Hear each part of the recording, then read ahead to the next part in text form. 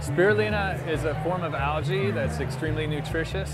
It has a spiral shape to it, that's why it's called spirulina. And it grows in an extremely alkaline environment that makes it very safe, so no other kind of algae or bacteria will grow in there with it. So it's a perfect for home grow because it's also very easy to harvest. What you do is you filter it uh, out of the water and then you eat uh, a paste that uh, that's, that's basically just the spirulina cells themselves. We're supporting uh, DIY algae growers around the world. I first started getting interested in algae biofuel because it's uh, one of the few ways that we can grow biofuel without negatively impacting the environment or, or food production.